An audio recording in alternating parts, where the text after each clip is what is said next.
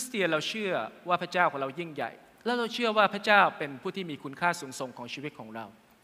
แต่โลกทุกวันนี้คริสเตียนก็เจอการต่อสู้เช่นเดียวกัน เราเจอการต่อสู้เรื่องความสับสน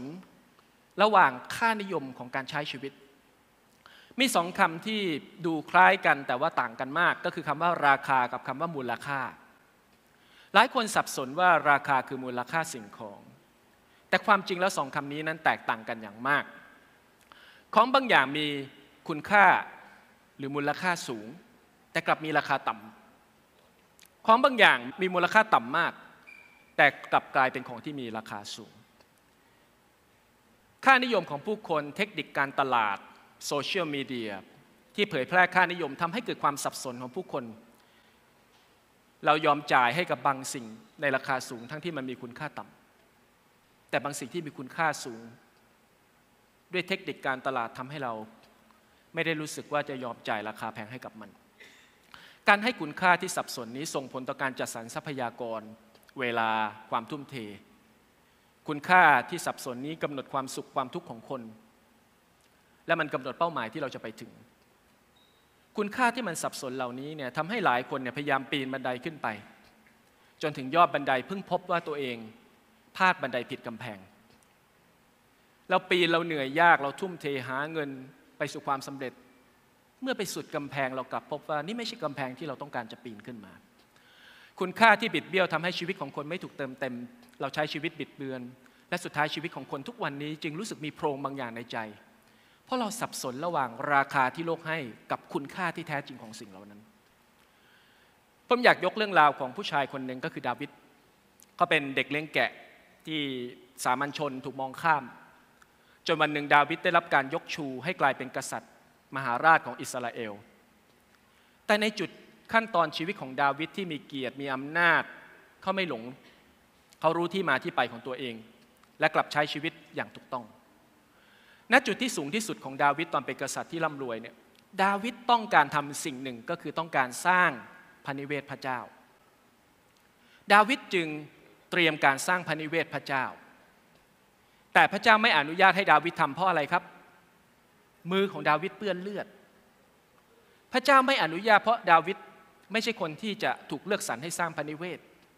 ดาวิดจึงไม่ได้รับอนุญาตให้ทำสิ่งที่หัวใจของเขาอยากทำได้ แต่ดาวิดไม่ได้จบแค่ได้พยายาม ไม่ได้จบแค่ความตั้งใจ ดาวิดจัดเตรียมวัสดุอุปกรณ์ทุกอย่าง แม้เขาสร้างไม่ได้ ก็ขอให้ลูกของเขาสร้างง่ายขึ้นกว่าเดิม ในหนึ่งพงศาวดารบทที่ 22 ข้อ2ถึง5ดาวิดบัญชาให้รวบรวมคนต่างด้าวที่อยู่ในแผ่นดินอิสราเอล และพระองค์ทรงจัดคนสกัดหิน ให้เตรียมหินสกัดเพื่อสร้างพระนิเวศของพระเจ้า ดาวิดยังทรงเตรียมเหล็กเป็นจำนวนมาก เพื่อเป็นตะปูของบานประตูรั้ว และเป็นเหล็กหนีบ ทั้งทองสำริดเป็นจำนวนมาก เหลือที่จะช่างได้ ข้อ 4 บอกว่าและไม่สนสีดานับไม่ถ้วน เพราะว่าชาวไซดอน ชาวไทละ นำไม้สนสีดาจำนวนมากมาถวายดาวิด ดาวิดตรัสว่าซาโลมอนบุตรของเรายังหนุ่มและอ่อนประสบการณ์ และพระนิเวศซึ่งจะสร้างถวายพระยาเวนั้นต้องงดงามอย่างยิ่ง มีชื่อเสียงและสง่าราศีท่ามกลางบรรดาประเทศทั้งหมด เพราะฉะนั้นเราจึงจะจัดเตรียมไว้ ดาวิดจึงจัดเตรียมไว้มากมายก่อนพระองค์สิ้นพระชน ความรู้สึกของดาวิดคือคุณค่าที่สุดที่ดาวิดจะยอมจ่ายราคาก็คือเพื่อพระนิเวศพระเจ้า เพื่อพระเจ้าที่เขารัก ระเจ้าที่ยกชูเข้ามาจากจุดที่ไม่มีอะไรเลย ดาวิดต้องการให้นิเวศพระเจ้างดงามที่สุด นั่นคือที่ที่ดาวิดวางคุณค่าหรือแวลูของชีวิตเอาไว้คือเพื่อพระเจ้า เขาเตรียมอะไรบ้างครับ ข้อ 14 บอกต่อไปว่า เขาได้เตรียมด้วยความเหนื่อยยาก เขาเก็บสะสมด้วยความเหนื่อยยากทั้งหมดของชีวิตเพื่อจะให้ได้ ทองคำหนัก 3,400 ตัน เงินหนัก 34,000 ตัน ทองสำริด นะทองสำริดก็คือทองแดงผสมกับดีบุก และเหล็กเหลือที่จะชั่งได้ เพราะมีมากเหลือเกิน เขาเตรียมไม้เตรียมหินให้กับซาโลมอนเพื่อจะสร้าง ยิ่งกว่านั้นได้เตรียมคนทำงานมากมายทั้งช่างสกัดหิน ช่างก่อช่างไม้และช่างทั้งหมดผู้เป็นผู้ชำนาญทุกชนิด ดาวิดได้จัดเตรียมวัสดุมากมายเหล่านี้นะครับ เรามาดูสิครับว่าวัสดุเหล่านี้ถ้าเทียบมูลค่ากับมูลค่าปัจจุบันดาวิด ได้มอบถวายกับพระเจ้ามากแค่ไหน ดูทีละอย่างด้วยกันทองคำหนัก 3,400 ตัน คิดเป็นเงินปัจจุบันมีมูลค่าทั้งหมดเท่ากับ 7.4 ล้านล้านบาท นี่คือทองคำที่ดาวิดถวายแลนบริดจ์ของประเทศไทยใช้งบประมาณ 1 ล้านล้านบาท ทองคำอย่างเดียวสามารถสร้างแลนบริดจ์ได้ 7 โครงการ ในประเทศไทยธนาคารประเทศไทยเรามีทองคำสำรอง 244 ตัน ทองคำที่ดาวิดถวายเพื่อพระนิเวศพระเจ้าคือ 14 เท่าของทองคำที่ประเทศไทยมีในธนาคารประเทศไทย ประเทศเรามีทองคำมากเป็นอันดับ 22 ของโลกนะครับในธนาคารประเทศไทยของเรา แต่ดาวิดถวายมากกว่านั้นอีก 14 เท่า ว้าวเขาถวายเงิน 34,000 ตัน คิดเป็นเงินบาทปัจจุบันก็คือประมาณ 9 แสนล้านบาท ทองคำสำริดเหล็กมากจนเหลือกว่าจะช่างได้ ไม้สนสีดาอันนี้ต้องมาจากประเทศเลบานอน ต้องขนส่งทางทะเล ต้องลอยเป็นแพมาเป็นจำนวนมหาศาลในการสร้างพระวิหารพระเจ้า และหินขนาดมหึมา หินเนี่ยจะถูกสกัดที่เหมืองหิน เป็นหินขนาดใหญ่สลับตั้งพระนิเวศพระเจ้า ดังนั้นหินทั้งหมดถูกสกัดถูกวัดขนาดไปหมดแล้ว เป็นหินที่ถูกคำนวณขนาดอย่างดีเพื่อมาแล้วลงล็อกลงล็อกลงล็อก เขาเรียกว่าสร้างแบบพีแคสสร้างแบบมาก่อนเลย แล้วมาขนวางตั้งแต่ก่อนที่จะมีการใช้เทคนิคนี้ในการก่อสร้างยุคปัจจุบัน ทั้งหมดในการรวมทรัพย์สินที่ดาวิดถวายพระเจ้านะเอาแค่เฉพาะทองกับเงินอย่างเดียวเนี่ยก็ประมาณ 8 ล้านล้านบาทแล้ว เท่ากับประมาณ 50%ของ GDP ประเทศไทยปัจจุบันนี้ ดาวิดถวายกับพระเจ้าสำหรับประเทศหนึ่งอะถวายกับพระเจ้ามากขนาดนี้ มันเป็นอะไรบางอย่างที่พิเศษมากๆที่ดาวิดได้ให้ ช่างฝีมือที่มาร่วมสร้างถูกรวบรวมมาจากหลายที่หลายแห่ง เอาช่างฝีมือมาจากไซดอน เป็นช่างไม้ที่เก่งมาก ๆ เอาแรงงานอิสราเอลมาสามหมื่นคนสำหรับการขนไม้ หมุนเวียนไปเดือนละหมื่นคนไปที่เลบานอนเพื่อจะขนไม้มาสับเปลี่ยนเดือนละเดือนละหนึ่งหมื่นคนเขาเค้นหาหูราม ซึ่งเป็นช่างทองสำริดที่มีฝีมือจากเมืองไทระ มีกรรมกรแบกหามอีกทั้งหมด 70,000 คน มีช่างสกัดหินอีก 80,000 คน และมีหัวหน้าคนงานอีก 3,300 คน ดาวิดให้กับพระเจ้าแบบมากเหลือเกิน หลายคนอาจจะคิดว่าเราให้กับพระเจ้ามากเกินไป แต่ไม่มีใครให้กับพระเจ้ามากเกินไปเอเมนไหมครับ พระเจ้าเนี่ยไม่ได้เรียกร้องให้ดาวิดต้องให้สิ่งนี้ พระเจ้าบอกดาวิดว่าจะสร้างนิเวศให้เราทำไม ในเมื่อพระเจ้าไม่ได้อยู่ในสิ่งก่อสร้าง แต่ดาวิดพยายามจะแสดงหัวใจของเขากับพระเจ้า เขาอยากจะให้กับพระเจ้าด้วยความรักที่เขามีกับพระองค์ และพระองค์รับรู้พระองค์จึงยอมรับการถวายพระนิเวศจากดาวิดสิ่งที่น่าสนใจไม่ใช่แค่ดาวิดถวายมากแค่ไหน แต่อะไรขับเคลื่อนดาวิดให้เขาถวาย สิ่งที่ขับเคลื่อนดาวิดก็คือระบอบค่านิยมของดาวิดระบบการจัดวาง value การจัดวางคุณค่า ระบบค่านิยมของคนนี่แหละ มันกำหนดความสุขความทุกข์การจัดสรรทรัพยากรและเป้าหมายชีวิตของคน ระบบค่านิยมของคนนี่แหละจะช่วยป้องกันเราจากความสับสนระหว่างราคากับมูลค่า เราจะไม่ได้หลงไปเพียงเฉพาะกระแสของราคาที่สูง และคิดว่ามันมีคุณค่า ดาวิดได้พูดในสองซามูเอลบทที่ 7 ข้อ 2 บอกว่า เราอยู่ในบ้านที่ทำด้วยไม้สนสีดา แต่หีบพระเจ้าอยู่ในเต็นท์มันเป็นไปได้ยังไงที่บ้านของพระเจ้านั้น แย่กว่าบ้านของเขา เป็นไปได้ยังไงที่พระเจ้าได้สิ่งที่แย่กว่าสิ่งที่เขามี ดาวิดไม่ต้องการที่จะสะดวกสบายหรือสนใจกับตัวเอง เขาไม่ได้มีพระเจ้าเป็นผู้รับใช้ให้เขา แต่เขารู้ว่าตัวเขาเองอยู่แบบเป็นผู้รับใช้พระเจ้า เขาต้องการให้ตัวเขาได้มีพระเจ้าเป็นศูนย์กลางของชีวิต ค่านิยมของดาวิดได้สะท้อนผ่านพระคัมภีร์ข้อนี้คือเขาให้พระเจ้าเป็นจุดสูงสุด เป็นความปรารถนาสูงสุดในชีวิต ซึ่งมันสอดคล้องกับในสดุดีบทที่ 27 ข้อ 4 ซึ่งเป็นเพลงที่เราแต่งกัน เขามีบทอธิษฐานว่า ข้าพเจ้าทูลขอสิ่งหนึ่งจากพระยาเว ถ้าพี่น้องมีพรได้หนึ่งข้อในชีวิตอะพี่น้องจะขออะไรจากพระเจ้าหนึ่งข้อที่จะเกิดขึ้นแน่ๆพี่น้องจะขออะไร ถ้ามีพรข้อเดียวดาวิดขอข้อนี้ก็คือ ขอที่ตัวเขาจะได้อยู่ในบ้านของพระเจ้า ตลอดวันคืนในชีวิต เพื่อเขาจะได้ชื่นชมในความงดงามของพระเจ้า และได้พินิษอยู่ในพระวิหารของพระองค์ พระเจ้าคือค่านิยมสูงสุดของชีวิตดาวิดและมันได้จัดอะไลเมนต์ทั้งหมดของชีวิตทุกอย่าง มันได้จับเรียงการวางแผนชีวิตทั้งหมดของดาวิดและทำให้ดาวิดทุ่มเทกับพระเจ้าด้วยความสุข มันต่างกับคนอิสราเอลในช่วงเวลาต่อมาที่ตกต่ำด้านจิตวิญญาณ ในพระธรรมฮักไกบทที่หนึ่งข้อสามถึงสี่คนอิสราเอลในช่วงเวลาฮักไกบอกว่า เขาอยู่ในบ้านที่มีไม้บุ แต่นิเวศหรือบ้านพระเจ้าถูกทิ้งให้พังทลาย เราเห็นได้เลยว่าเมื่อไรก็ตามที่คนสนใจตัวเองมากกว่าพระเจ้า เมื่อไม่ได้รักพระเจ้าด้วยสุดจิตสุดใจสุดกำลังความคิดเมื่อนั้นก็คือความตกต่ำฝ่ายจิตวิญญาณทำอะไรก็ตามคนให้พระเจ้าเป็นค่านิยมสูงสุดของชีวิต เมื่อนั้นระบบค่านิยมของชีวิตก็จะถูกจัดเรียงใหม่ เราจะตอบสนองต่อเหตุการณ์ต่าง ๆ ที่ต่างออกไป ผมฟังคำเทศหนึ่งของอาจารย์ฮาวที่โบสถ์ฮาร์ดอฟกอสสิงคโปร์ เขาพูดถึงระบบค่านิยม ซึ่งกำหนดมุมมองความรู้สึกของเรา มันจริงว่าความรู้สึกของเราอะมันขึ้นกับค่านิยมของเรา เราเสียใจเรามีความสุขมันขึ้นกับว่าเรามีค่านิยมอะไร ในช่วงสมัยรุ่นปู่ย่าเนี่ยสังคมยากจน เขาพูดถึงสิงคโปร์ว่าเวลานั้นสิงคโปร์เป็นเกาะที่ยากจน คนสิงคโปร์จึงให้ค่านิยมกับเรื่องความมั่นคง ความมั่งคั่ง ความร่ำรวย เพราะฉะนั้น ถ้าอะไรที่เป็นเรื่องเกี่ยวกับทรัพย์สินเงินทองคนสิงคโปร์จะให้ค่านิยมกับเรื่องนั้นเป็นเรื่องสูง แต่ทุกวันนี้สิงคโปร์เปลี่ยนไป สังคมเริ่มมั่นคงมั่งคั่ง และคุณค่าที่วัยรุ่นในสิงคโปร์เริ่มให้เริ่มเปลี่ยนไปจากเดิม เขาเริ่มพบว่าเงินทองที่เคยเป็นความสำคัญสูงสุด ไม่ได้กำหนดความสุขอีกต่อไป เขาไม่ได้แสวงหาแค่เฉพาะความมั่งคั่ง แต่แสวงหาความสุข และแสวงหาการใช้ชีวิตเพื่ออะไรที่มีคุณค่า มันเกิดการเปลี่ยนจากการมีชีวิตรอดหรือ survive ไปสู่การแสวงหาความสำเร็จ success และไปสู่สิ่งที่สูงกว่าก็คือการใช้ชีวิตเพื่อสิ่งที่ทรงคุณค่า เมื่อค่านิยมของเราถูกจัดเรียนด้วยสิ่งที่ทรงคุณค่า เมื่อนั้นมันจะเกิดความอิ่มเอมใจ เมื่อเราใช้ชีวิตที่ใหญ่กว่าตัวของเราเอง เมื่อนั้นชีวิตเราจะถูกเติมเต็มจากพระเจ้า ดังนั้นในสังคมเขาเปรียบเทียบมันในสิงคโปร์ถ้าลูกมาทำงานโบสถ์พ่อแม่ก็จะห่วงอนาคตลูกจะอยู่ยังไงมาทำงานโบสถ์แต่ถ้าลูกไปทำงานสตาร์ทอัพพ่อแม่ก็จะดีใจภูมิใจที่ลูกได้บุกเบิกสตาร์ทอัพช่วยระดมทุนมาลงเงินลงขันกับบริษัทสตาร์ทอัพของลูก แต่เขาบอกว่า rate การประสบความสำเร็จของสตาร์ทอัพนั้น ต่ำกว่า rate ความสำเร็จของโบสถ์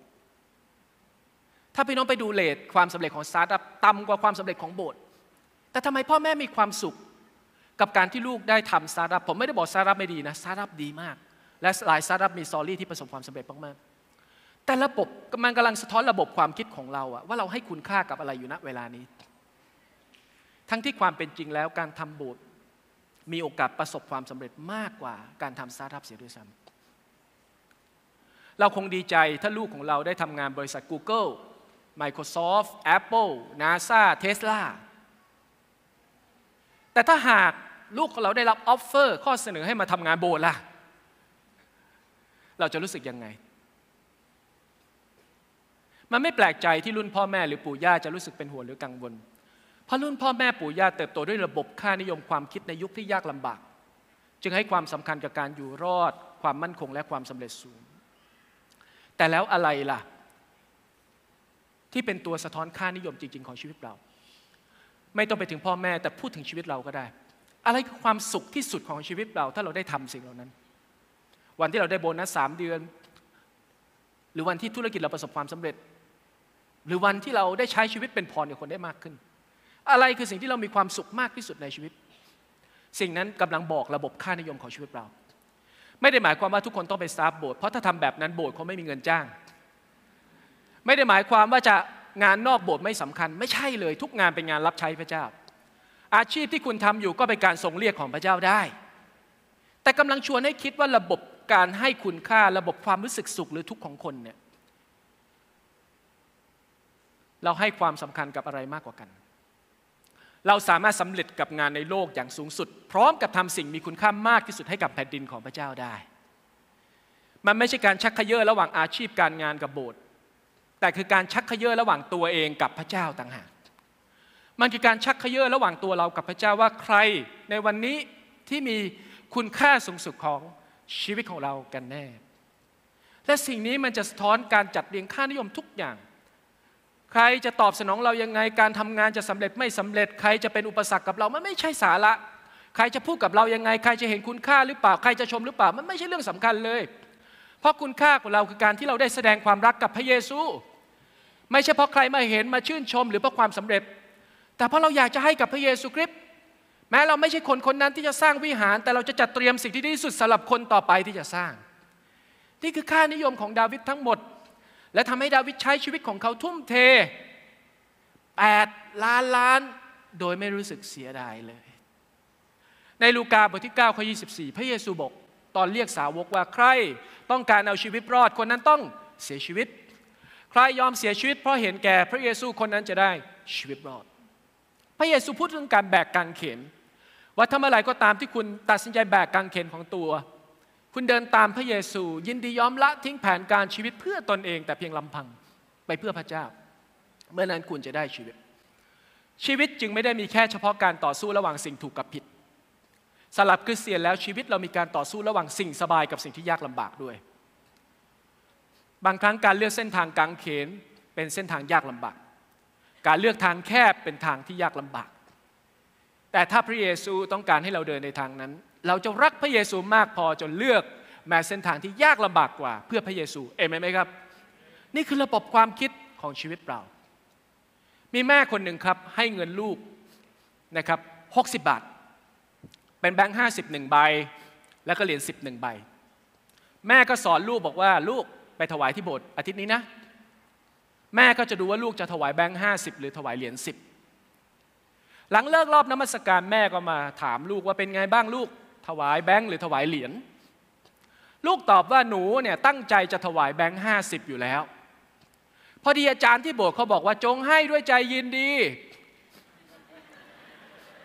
หนูก็เลยให้เหรียญสิบเพราะรู้สึกยินดีกว่า ธรรมชาติของเราอะการให้สิ่งสบายมันก็ยินดีกว่าอยู่แล้ว แต่พระปีสอนบอกว่าการให้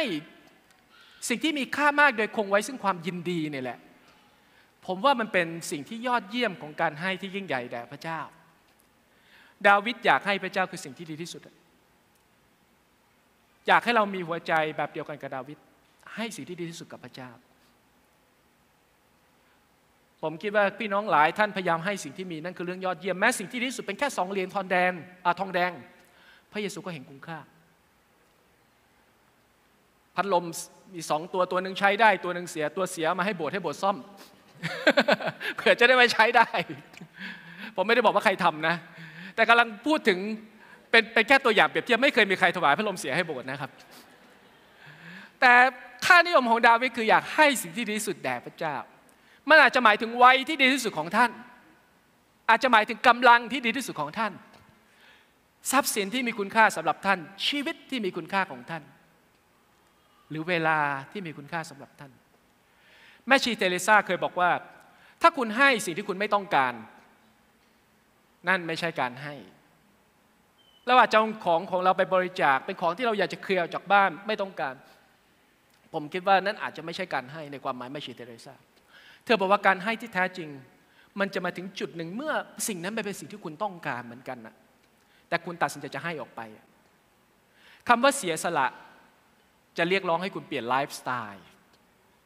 จะดูว่าคนคนหนึ่งเสียสละหรือเปล่าดูว่าเขาเปลี่ยนไลฟ์สไตล์หรือเปล่า ถ้าเขาเปลี่ยนไลฟ์สไตล์เขายอมเปลี่ยนวิธีการใช้ชีวิต ยอมกินกาแฟถูกลง เป็นสตาร์บังแทน ลดจำนวนแก้วลง เที่ยวหรูน้อยลง ออกไปช่วยคนมากขึ้น หาความสุขจากรูปแบบใหม่ ไปพูดคุยกับคนไปให้คุณค่ากับคนช็อปออนไลน์น้อยลง เพราะเบื่อเหลือเกิน ซื้อเยอะบ้านก็ลก ใช้จ่ายเงินให้เกิดผลขึ้น อยู่กับตัวเองน้อยลง อยู่เพื่อตัวเองน้อยลง ไปอยู่กับคนอื่นไปช่วยคนอื่นมากขึ้นกว่าเดิม การเสียสละจะเรียกร้องการเปลี่ยนไลฟ์สไตล์จะดูว่าเราเสียสละหรือเปล่าคือไลฟ์สไตล์เราเปลี่ยนหรือเปล่า ถ้าชีวิตมันยังเหมือนเดิมทุกอย่างเหมือนเดิม ผมคิดว่านั่นไม่ใช่การเสียสละ มันจะต้องมีการเปลี่ยนไลฟ์สไตล์บางอย่าง ผมอยากจบด้วยตัวอย่างของเด็กชายคนหนึ่งชื่อว่าคอนบราดรีดในปี 1977 เนี่ย เด็กคนนี้อายุ 12 ปี เขาไปตกปลาในในบึงแห่งหนึ่ง ขณะตกปลาเนี่ย เด็กคนนี้ก็พบก้อนโลหะ สีเหลืองๆ ก้อนใหญ่เป็นรูปลิ่ม หนัก 8 กิโลกรัม เขาแปลกใจว่ามันคืออะไร ก็เลยยกไอ้ก้อนโลหะเนี่ยกลับบ้าน พอมาถึงบ้านมาให้พ่อดู พ่อก็ไม่รู้ว่านี่คือก้อนอะไร พ่อก็เลยเอาไปวางไว้เป็นตัวตัวขัดประตู เวลาปิดประตู เวลาเปิดประตูค้างเอาไว้ ไอ้ก้อนเหล็กเนี่ยกลายเป็นวางขวางประตูอยู่สามปีในบ้าน จนวันหนึ่งเนี่ยเขาได้พบกับนักฆ่าอัญมณี ก็เลยรู้ว่าไอ้ก้อนเหล็ก ก้อนนี้ก็คือทองคำทั้งก้อนเลยหนัก 8 กิโลกรัม สมัยนั้นปี 1799 คือประมาณ 200 กว่าปีที่แล้วเนี่ยอเมริกายังไม่มีกระแสตื่นทองเลย เขาก็เลยไม่รู้จักคุณค่าของมันก็เลยขายให้กับนักฆ่ายมณี คนนั้นก็ตีราคาให้กับเขา 3.5 เหรียญนะฮะ100บาทสำหรับทองคำหนัก 8 กิโลกรัม ประเมินราคาที่แท้จริงของมันในช่วงเวลา 200 ปีที่แล้วคือประมาณ 3,600 เหรียญ แต่รีดไม่รู้ราคาที่แท้จริง รีดก็ขายถูกลงไปพันกว่าเท่า เวลาผ่านไปรีดเริ่มคิดได้ ส่วนใหญ่คนเราจะฉลาดขึ้นเวลาพลาด พลาดสักพักหนึ่งมันจะเริ่มค่อยๆ เอ๊ะนะฮะเอ๊ะแล้วค่อยอ๋อแล้วอุ้ยนะรีดพลาดไปแล้วนะครับ แทนที่เขาจะไปทวงคืนขอเงินคืน เขารีบตรงไปหาแหล่งที่เขาพบทองคำชื่อว่า Little Middle Creek เขาก็ใช้เวลาค้นหาทองคำอยู่ที่นั่นหลายเดือน ในที่สุดเขาพบอีกก้อนหนึ่งน้ำหนักมากกว่าเดิมคือหนัก 13 กิโลกรัม นั่นคือจุดเริ่มต้นของการทำเมืองทองคำแห่งแรกของอเมริกา เขาค้นทองคำก้อนในบริเวณหนองน้ำนั้นจนหมด หลังจากนั้นก็ใช้วิธีการร่อนทอง พอร่อนทองหมดก็ใช้วิธีทำเหมืองขุดไปใต้ดิน และปัจจุบันสถานที่ที่เขาค้นพบทองชื่อว่ารีดโกลไมหรือ เหมืองทองคำของรีดอยู่ที่นอร์ทแคโรไลนาการไม่รู้มูลค่าที่แท้จริงทำให้รีดยอมรับราคาที่ต่ำกว่าความเป็นจริง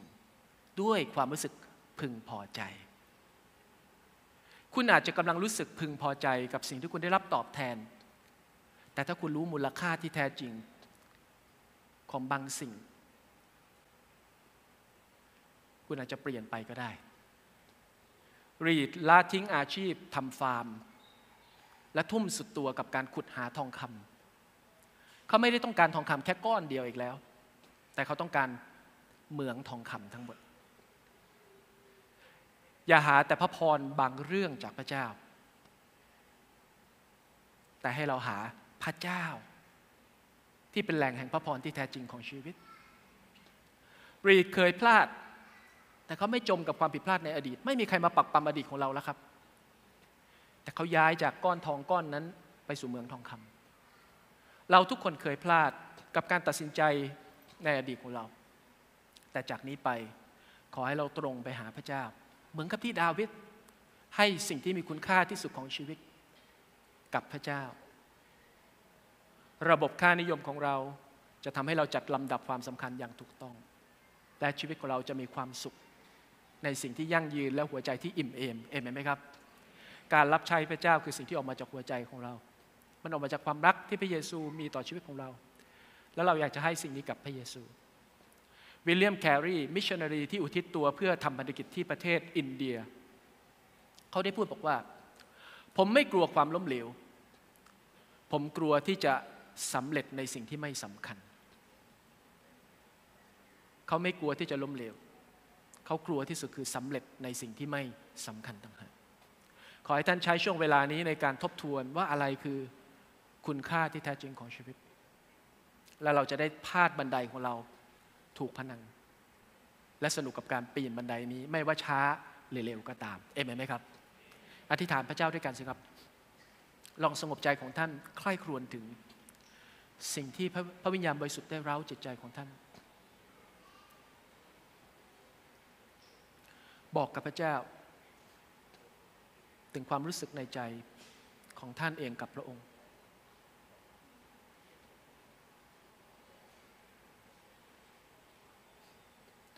เมื่อเห็นพระเจ้ามีค่ามากขึ้น ความทุกข์ยากนั้นจะกลายเป็นความทุกข์ยากเล็กๆน้อยๆชั่วไปเดียวเดียว มันจะกลายเป็นความทุกข์ยากเล็กๆน้อยๆชั่วไปเดียวเดียว เพื่อจะแลกกับศักดิ์ศรีถาวรออันมากหาที่เปรียบมิได้ พระเยซูครับ พวกเรารักพระองค์ เรารักพระองค์ด้วยหัวใจของเรา เรารักพระองค์ด้วยจิตวิญญาณของเรา และเรามีความสุขที่เราได้แสดงความรักออกต่อพระองค์ ไม่ว่าจะด้วยแรงกาย ด้วยวัย ด้วยเวลา ทรัพยากรที่มี และความรู้สึกทั้งหมดที่มี เรารักพระเยซูคริสต์และอยากขอบคุณพระองค์ พระองค์ไม่ได้ต้องการความช่วยเหลือจากเรา แต่พระองค์เปิดโอกาสให้เรา ได้แสดงความรักต่อพระองค์ นั่นเป็นสิ่งที่พิเศษที่สุดและเรามีความสุขที่ได้อยู่ในความรักของพระองค์ ขอบคุณพระองค์ อธิษฐานในนามพระเยซูคริสต์เจ้า เอมขอบคุณทุกท่านสำหรับการรับชมคำเทศนาของเรา หวังใจเป็นอย่างยิ่งว่าคำเทศนานี้จะสามารถเป็นพระพรช่วยให้ท่านได้รับกำลังใจ ความหวัง และได้รับหลักการจากพระวจนะของพระเจ้าที่เป็นจริงเสมอ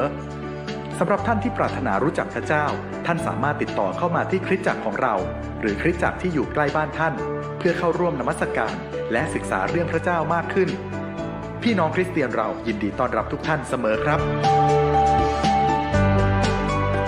สำหรับพี่น้องคริสเตียน ขอพระเจ้าอวยพรท่านให้บริบูรณ์ด้วยพระพรและมีกำลังในการดำเนินชีวิต